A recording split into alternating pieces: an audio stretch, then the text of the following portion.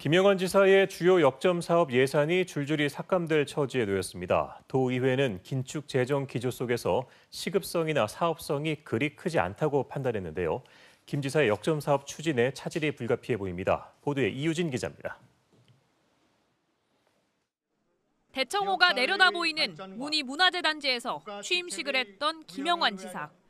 대청호 주변 상수도 보호구역과 청남대 발전을 꾀하겠다는 구상을 엿볼 수 있었습니다.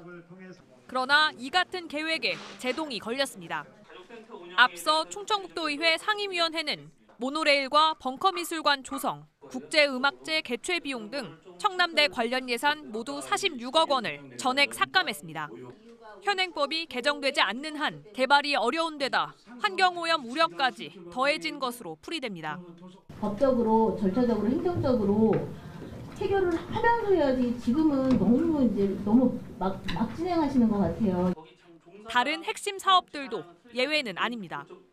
난임 시술 여성의 가사 서비스를 전국 최초로 지원하는 등 출산 양육 환경을 개선하겠다며 내놓은 사업들도 줄줄이 생사의 갈림길에 섰습니다.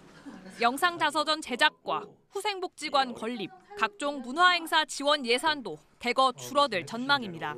12년 만에 지방채를 발급하는 좀 초유의 지금 어려운 재정 속에서 적재적소에 잘 쓰였는지에 대해서는 저희가 꼼꼼하게 한번 더 보도록 하겠습니다.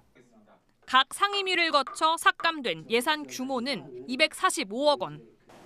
충청북도는 사업 추진 동력을 얻으려면 예산이 먼저 세워져야 한다며 도의회를 설득해 예산을 최대한 부활시키겠다는 계획이지만 원안 통과는 요원해 보입니다. KBS 뉴스 이유진입니다.